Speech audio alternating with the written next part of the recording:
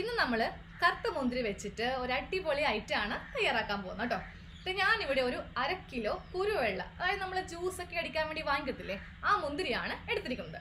അപ്പോൾ നമുക്ക് ആദ്യമേ ഇതെല്ലാം നന്നായിട്ടൊന്ന് കഴുകിയിട്ട് ഒരു പാത്രത്തിലേക്ക് ഇട്ട് കൊടുക്കാം. നമ്മൾ ഇതൊന്ന് ആവിയിലൊന്ന് സ്റ്റീം ചെയ്യാൻ പോവാണ്.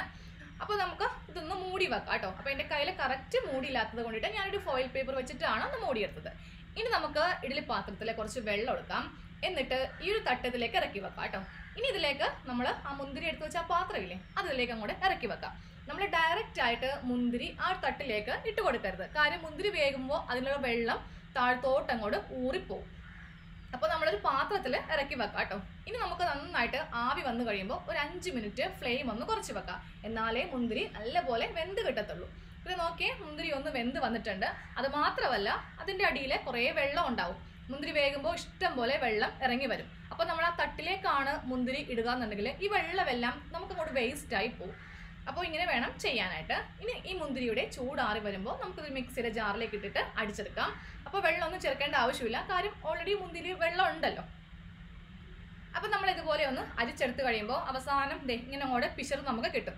അതിലും കുറേ മുന്തിരിയുടെ സത്തുക്കൾ ഉണ്ടാവും. അപ്പോൾ നമുക്കൊരു അര ഗ്ലാസ് വെള്ളം കൂടെ ഒഴിച്ചിട്ട് ഒന്നും കൂടെ ഒന്ന് അരിച്ച് എടുക്കാം. അപ്പം നമ്മളിപ്പോൾ മുന്തിരി ഒന്ന് അരിച്ചൊക്കെ എടുത്തിട്ടുണ്ട്. നല്ല കുറുക്കായിട്ടാണ് ഇപ്പോൾ കിട്ടിയിരിക്കുന്നത് കേട്ടോ. ഇനി നമുക്ക് ഇതിലേക്ക് ഒന്നും കൂടി കൊഴുപ്പ് കിട്ടാൻ വേണ്ടിയിട്ട് കറക്റ്റ് ഒരു വലിയ സ്പൂൺ കോൺഫ്ലവർ ഒന്ന് കലക്കിയിട്ട് ഇതിലോട്ടൊന്ന് ഒഴിക്കുന്നുണ്ട്. അപ്പോൾ നമ്മൾ ഡയറക്റ്റ് ആയിട്ട് ഇട്ട് കൊടുക്കരുത്. കാര്യം അവിടെ അവിടെ ഇങ്ങനെ കട്ട കട്ട പോലെ പിടിക്കും. അപ്പോൾ നമുക്ക് ഈ ഇപ്പോൾ നമ്മൾ അരിച്ചെടുത്ത ഈ വെള്ളം വെച്ചിട്ട് തന്നെ നമുക്കൊന്ന് കലക്കിയെടുക്കാം. അപ്പോൾ കട്ടയൊന്നും ഉണ്ടാവത്തില്ല. അപ്പോൾ ഇങ്ങനെ അങ്ങോട്ട് നമ്മൾ കലക്കി എടുത്തിട്ടുണ്ട്. നേരെ ഈ ഒരു കലക്കി എടുത്തതും കൂടെ മുന്തിരി ജ്യൂസിലേക്ക് അങ്ങോട്ട് ഒഴിച്ചു കൊടുക്കാം. ഇനി നമുക്കിതിലേക്ക് ഒരു ചെറിയ കപ്പ് പഞ്ചസാരയും കൂടെ ചേർത്ത് കൊടുക്കാം കേട്ടോ. എന്നിട്ട് എല്ലാം കൂടെ നല്ലതായിട്ടൊന്ന് മിക്സ് ചെയ്തിട്ട് നമ്മൾ നേരെ സ്റ്റവ് ഓൺ ചെയ്തിട്ട് സ്റ്റവിലേക്ക് വെച്ച് കൊടുക്കാം. എന്നിട്ട് കൈ വിടാതെ എപ്പോഴും ഇങ്ങനെ ഇളക്കിക്കൊണ്ടേയിരിക്കുക. കാര്യം കോൺഫ്ലവർ ചേർത്ത് കൊണ്ടിട്ട് പെട്ടെന്ന് തന്നെ ഇത് സെറ്റായി പോവും. അതായത് കട്ടയായി പോവും. അപ്പോൾ നമ്മൾ കൈ വിടാണ്ട് ഇങ്ങനെ അങ്ങോട്ട് ഇളക്കിക്കൊണ്ടിരിക്കുക. കുറച്ച് സമയം കഴിയുമ്പോൾ ഇതങ്ങോട്ട് തിളച്ചതേ ഈ ഒരു കളറിലേക്ക് നമുക്ക് കിട്ടും കേട്ടോ. അപ്പോൾ അത്യാവശ്യം തിക്കായിട്ടുണ്ട്. പക്ഷെ നമുക്കിത് നല്ലപോലെ തിക്കാവണം. അതായത് നമ്മൾ ഈ പാനിൽ ജസ്റ്റ് നമ്മൾ സ്പൂൺ വെച്ചിട്ട് ഒന്ന് ലൈൻ പോലെ വരക്കുവാണെങ്കിൽ ആ പാത്രം നമുക്ക് കാണാൻ പറ്റണം. ആ ഒരു പാകത്തിലാണ് നമുക്ക് വേണ്ടത്. ഇതെല്ലാം നമുക്ക് ഹൈ ഫ്ലെയിമിൽ തന്നെ ചെയ്യാം. ഫ്ലെയിം ഒന്നും കുറച്ച് വെക്കേണ്ട ആവശ്യമില്ല. ഇതിപ്പോൾ ഏകദേശം ഒരു പകുതിയോളം ഒന്ന് വറ്റി വന്നിട്ടുണ്ട്. ഈ സമയത്ത് നമുക്ക് ഫ്ലെയിം കുറച്ച് വെച്ചിട്ട് ഇതിലേക്ക് ഒരു സ്പൂൺ നെയ്യ് അല്ലെങ്കിൽ ബട്ടർ ചേർത്ത് കൊടുക്കുക കേട്ടോ. വെളിച്ചെണ്ണ അല്ലെങ്കിൽ റിഫൈൻഡ് ഓയിൽ അതൊന്നും ചേർക്കരുത്. നെയ്യ് അല്ലെങ്കിൽ ബട്ടർ അതും കൂടി ചേർത്തിട്ട് വീണ്ടും ഹൈ ഫ്ലെയിമിലേക്ക് വെക്കുക. എന്നിട്ട് നന്നായിട്ടൊന്ന് ഇളക്കിക്കൊണ്ടേയിരിക്കുക. ഇപ്പോൾ ഫ്ലെയിം കുറച്ചൊക്കെ നമ്മൾ ചെയ്യുവാൻ നിൽക്കുവാണെങ്കിൽ കുറേ സമയം പിടിക്കും. ഹൈ ഫ്ലെയിമിലാണെങ്കിൽ പെട്ടെന്ന് പണിയും കഴിയും. അപ്പോൾ നോക്കിയേ പാത്രത്തിൽ നിന്ന് ഇതുപോലെ ഇങ്ങനെ അങ്ങോട്ട് വിട്ട് വിട്ട് പോരണം ഈ സമയം നമുക്ക് ഫ്ലെയിം ഓഫ് ചെയ്യാം. എന്നിട്ട് നമ്മൾ നേരെ ചെയ്യേണ്ടത് ഇത് സ്റ്റവിൽ നിന്ന് മാറ്റി താഴത്തേക്കും കൂടെ ഇറക്കി വെക്കാം. ഇല്ലെങ്കിൽ വീണ്ടും അവിടെ ഇരുന്ന് ആ ഒരു ചൂടിന് സെറ്റായി പോകും അപ്പോൾ നോക്കിയേ ഞാനിപ്പോൾ ഒന്ന് ജസ്റ്റ് ഒന്ന് ഇളകിക്കൊണ്ടിരിക്കുകയാണ്. ഇല്ലെങ്കിൽ ചൂട് നമുക്ക് പെട്ടെന്ന് ആറി കിട്ടത്തുമില്ല. അതങ്ങ് കട്ടയായി പോവുകയും ചെയ്യും. ഇടക്കിടക്ക് ഇങ്ങനെ ഒന്ന് ഇളക്കി കൊടുക്കാം കേട്ടോ.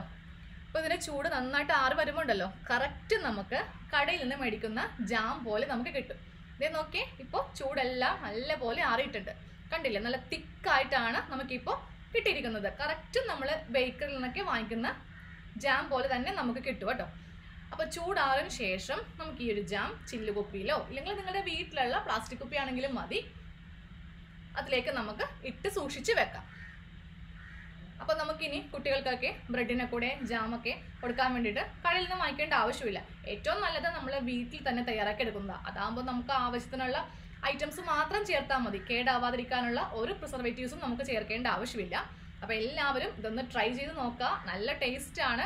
വേണമെങ്കിൽ നിങ്ങൾക്ക് ഇതിൽ കുറച്ച് ആപ്പിളോ എന്തെങ്കിലുമൊക്കെ ഫ്രൂട്ട്സ് അല്ലെങ്കിൽ പഴമോ ഒക്കെ ഉണ്ടെങ്കിൽ ചേർക്കാം. കുഴപ്പമൊന്നുമില്ല. പക്ഷേ മുന്തിരി ആണെങ്കിലും മുന്തിരി മാത്രമാണെങ്കിലും മതി. എന്നാലും നല്ല ടേസ്റ്റ് ആണ് കേട്ടോ അപ്പോൾ നമുക്കിതൊന്ന് ബ്രെഡിലേക്ക് ഒന്ന് പെരട്ടി നോക്കാം. എങ്ങനെയുണ്ട് ഇതിന്റെ ആ ഒരു ടെക്സ്ചറൊക്കെ എങ്ങനെയുണ്ട്? കറക്റ്റ് ആയിട്ട് വന്നിട്ടുണ്ടോ? ഓക്കെ. നമ്മൾ കടയിൽ നിന്ന് മേടിക്കുന്നതിനേലും നല്ല തിക്കായിട്ടാണ് നമുക്ക് ഈ ജാം കിട്ടിയിരിക്കുന്നത്. അപ്പോൾ എല്ലാവരും വീട്ടിൽ ചെയ്ത് നോക്ക. കണ്ടില്ലേ? നല്ല കളറല്ലേ? ഇതിലെ കളർ പൊടി ഒന്നും ചേർത്തിട്ടില്ല കേട്ടോ. അപ്പോൾ എല്ലാവരും ഒന്ന് ചെയ്ത് നോക്കിയിട്ട് ഫീഡ്ബാക്ക് അറിയിക്കാൻ മറക്കരുത്. അപ്പോൾ നമുക്ക് അടുത്തൊരു വീഡിയോയിൽ കാണാം. താങ്ക്